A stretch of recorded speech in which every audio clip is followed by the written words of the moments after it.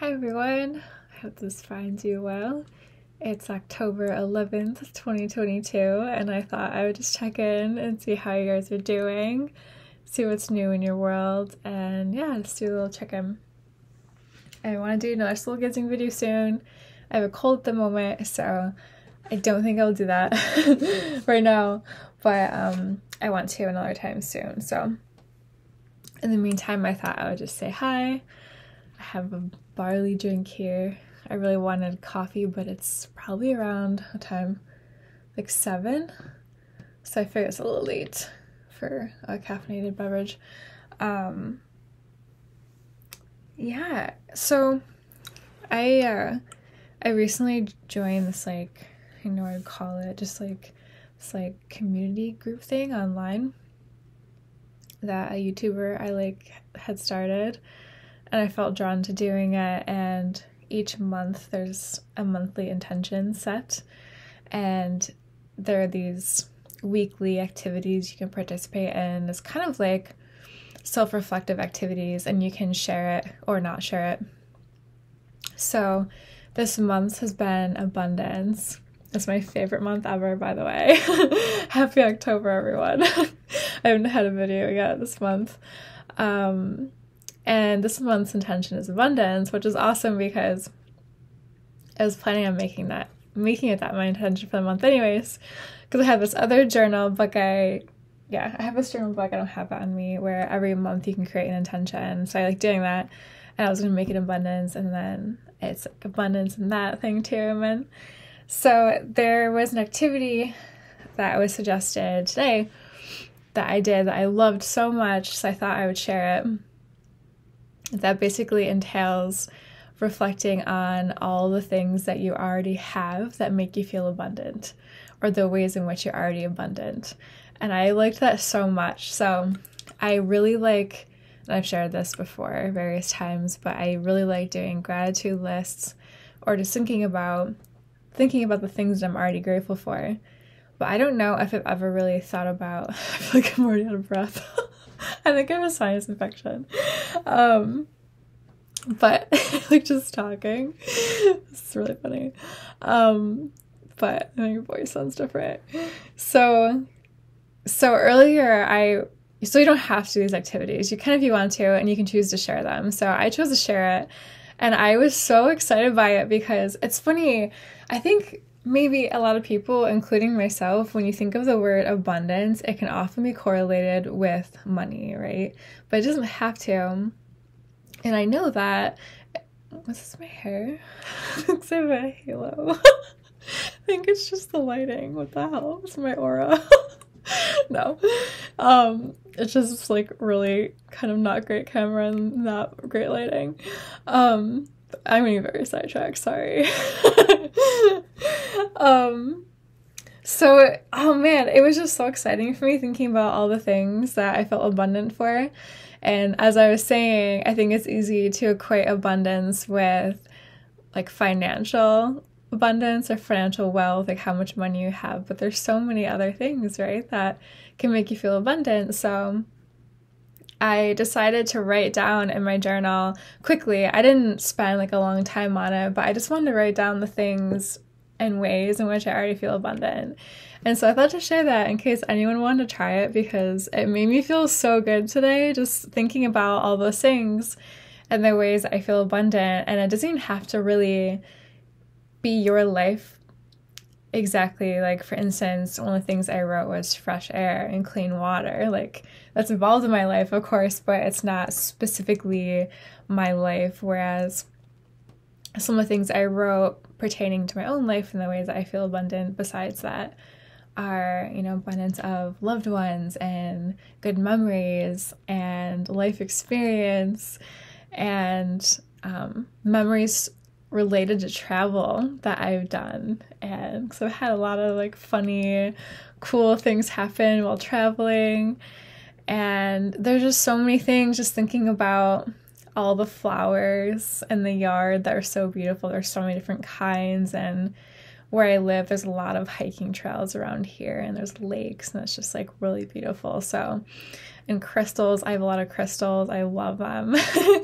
so, I'm not as crazy about them. I think I bought my first crystal in 2020, and it was a Lemurian quartz crystal. And once I got it in the mail, I just instantly fell in love, and it kind of spurred my crystal obsession. I bought a bunch, but now I'm like pretty chill on them. I still really love the ones I have, but I'm not as like ah about them. Um, but yeah, those are some of the things I wrote that I feel abundant in. I'm trying to think what else. Yeah, I think I said loved ones. I wrote um like my animals I love and they're lovable. um Ah, what else? Maybe I'll look really quick. But yeah, I just had to share that because I find, at least for me, I really enjoy self reflection and I find it really cool. And I like being asked questions that inspire deep thought. So I realize too, like, for instance, in job interviews, it's something that can be pretty nerve wracking.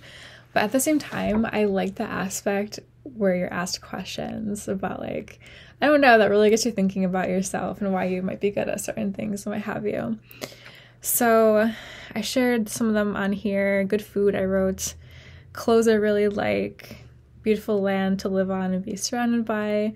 Great connections and friendships. I've been really blessed with, like, whether or not they're still in my life, I've been blessed with beautiful friendships and connections throughout my life, and I feel really grateful for that. And luckily, I still have people I love and feel really connected to at this moment in time, also. And I wrote video games and video game systems. Luckily, my dad, when I was a kid, he would buy video game systems and like video games for them. So he kind of gave them all to me because they're not really his thing anymore. So it's awesome. I have like all these old systems and everything. Um, love, joy, restaurants and coffee shops I love in the surrounding areas. Kindness, cozy blankets, a cozy room. I think I mentioned clean water already, but if I didn't, that's one. Inspiration, creativity, laughs, humor, and books. So those are the things I wrote, just in case you need some inspiration if it's something that resonates to do. And what else? I, if you follow my channel, you probably know I like to read, so I'm still reading the Sadhguru. Oh, I didn't share the video actually. Um, I made a video, like a reading video, and I didn't upload it. but one of the things, one of the books I'm reading, um, I'm over halfway through. I'm almost done with it, and I gotta get it back to the library actually. Ah. Um, I recently linked my phone to my MacBook so I I turned my ringer off so it wouldn't go off during the thing, but um, I'll turn the sound off actually. If it doesn't do anything. Um, this book, Sadhguru, it's really good actually. We're halfway through that, I'd recommend that. So I've been reading that and I started getting into this one. This is more fiction, but what's really interesting is I think it's based on the Akashic Records, if you've ever heard of that. So this is really fascinating. Um, I will say when I started it, it was just like really depressing, kind of. Um, but I think I'm at the part where it might be getting good now, so we'll see. But when I first started reading it, I was like, I don't know if I want to read this book because it's like really depressing.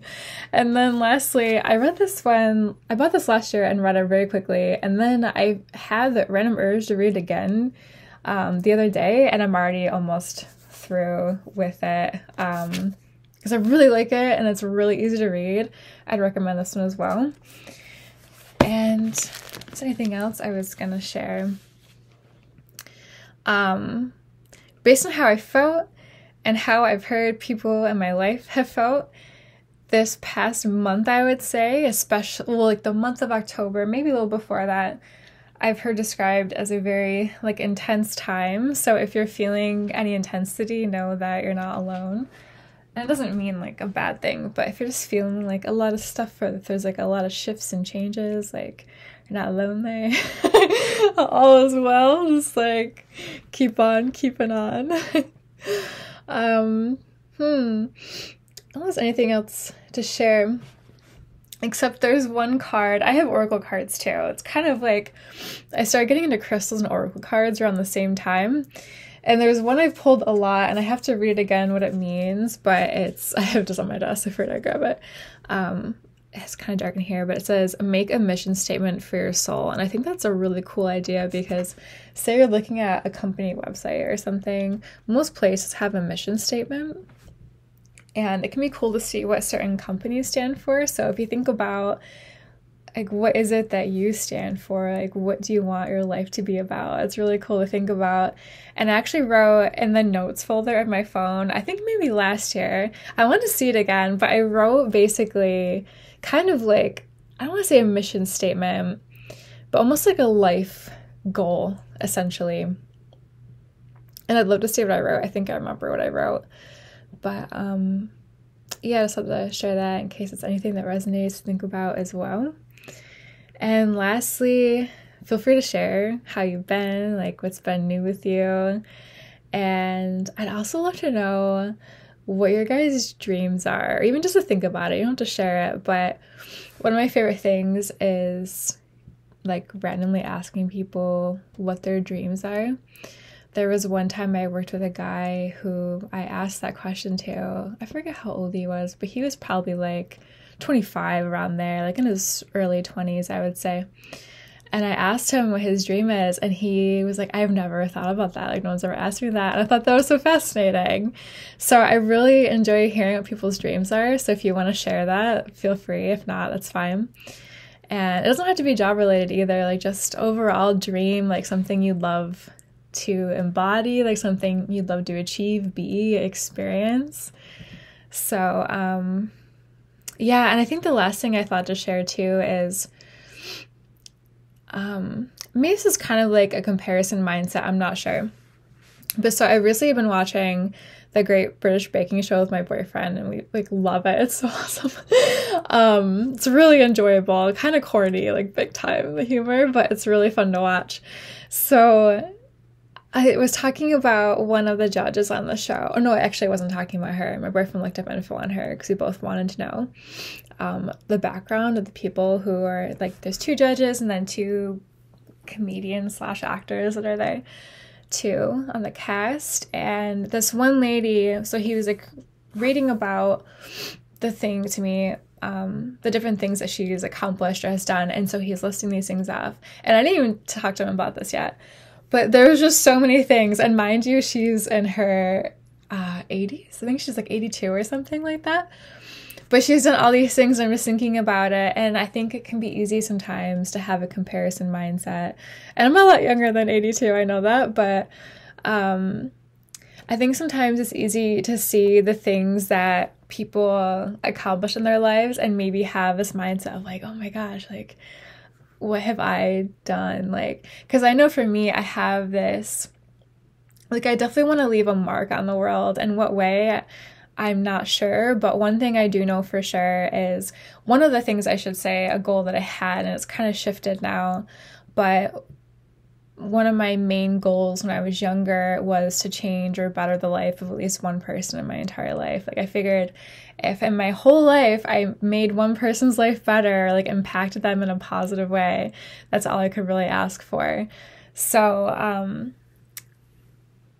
so with that being said, I think when you live in this world, especially maybe in America, but probably all over, I think there's this pressure to like do all you can like be all you can be and like how, like how many hats can I wear and like how many things can I accomplish and how many things can I put my put can I put on my resume to kind of just be like oh look at all the things that I've done and like look at how great I am and everything. But so I was just thinking about it um thinking about all these things that this woman has accomplished right and just the way that she's given back in the world because I think she started like an institute and she has like a Michelin star restaurant and like whatever, right? Um, not whatever because they're awesome, but just like she has a lot of things she's done that I think are really cool. Um, but I was just thinking, so I think it's really easy to look at the things people have done in that way, like physically, how do I want to say it? How people have physically impacted the world through what you can see, right? But then I was thinking, what if, what if people impact the world in a really integral way, like a really vast way, just by existing, like just by being themselves. And and and that facet, that's not something that you can really see. Like that's um, it's kind of more of like an energetic thing in a way, because like how do I want to explain this? One of my really good friends who passed away the other year, just his existence, like just meeting him completely changed my entire life because before meeting him, I honestly felt very alone in the world because I had a lot of people I loved and a lot of people that loved me, but I felt like I never really deeply connected with someone on a soul level. Um, where I felt that they really, really, truly saw me and my soul and like who I am, per, like fully, and like that that they really loved that or that they saw that. It's hard to explain. But he's the first person I ever met, and this was back, I think, in 2017, maybe 2016, 2017 ish was when I met him. And so I only knew him for about a couple of years before I ended up passing away. But so meeting him completely changed my life and it like ignited a lot of things. I think it it had a huge impact in propelling my spiritual journey. Um, it wasn't long after meeting him. I just I don't know. I started having he started exposing me to certain things. Like I remember um, he sent me a passage from the book The Four Agreements. And I loved it so much. It's just like the beginning statement or chapter, what have you. It's like the foreword or something. And then I was like, oh, dude, that's so amazing. And then maybe like a week later, I got it in the mail and he got it for me. And come to find out, I think he did that for a lot of people he re- that he was really close to. He would just like send this book to them or like give them this book. So he kind of got me into those more esoteric books. And then I end up um, taking a Reiki level one course. And since then, I've completed since then I've completed all of them. So it's like he really ignited those things in me. But that's not something you can really put on your resume. But like how many people did he impact? Or like how many people have you impacted that you have no idea about? And i don't know if i don't remember if i ever told him how much of an impact he had in my life. And i know i was very appreciative to him and i would share that with him. But i don't know if i ever told him like hey man you like completely changed my life just by you existing and so that's like what i'm trying to share is that I don't know. I guess if you're ever feeling like, I wish I accomplished more in my life so far, just know like there could be so many ways that you've affected the world in a positive way that you have no idea about. So I guess I'll leave you with that. And I really hope this finds you well. And I'll see you guys soon. I'll make another video soon. And I, for the people that watch my gaming stuff. I recently bought Two Point Hospital because it's on sale, and I bought Gris because I don't know if I'm saying that right, but G R I S. I bought that because it was on sale too. so I figure like because Steam has so many sales all the time, it's like why would I not wait until a game goes on sale to buy it if I'm not super crazy about getting it if I don't need it right away, which I don't. So. So maybe I'll upload a video playing one of those or something else soon. So yeah, anyway, anyway I hope this finds you well. And thanks for tuning in, and I'll talk to you soon. I'm sending lots of love and good things your way. Bye.